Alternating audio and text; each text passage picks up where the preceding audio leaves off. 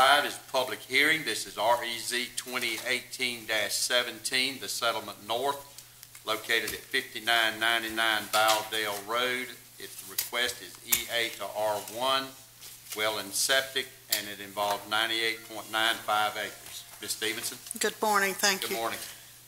As a reminder, the general motivation behind this rezoning request is so that subject properties can be divided at a greater density.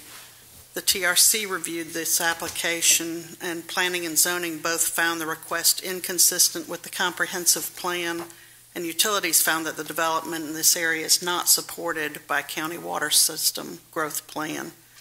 The Planning Commission at their September regular meeting recommended for denial after the agent for the applicant spoke and five neighbors spoke against the request. As uh, you all know, that at the October meeting, um, after the property owner's agent spoke in favor of the request and three neighbors spoke against, the Board of Commissioners recommended for the request to be tabled. And then again, at the November meeting, it was tabled after the applicant requested it to be tabled until a, an updated conceptual plan could be presented, which has been received and is in your packets.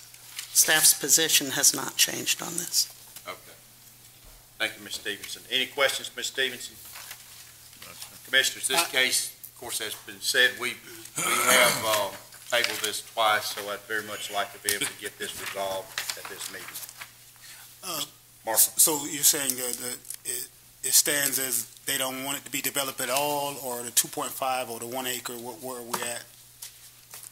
The conceptual plan that is presented has an, an average 1.66 acres. Staff had recommended RA zoning, which is 2.5 minimum acres.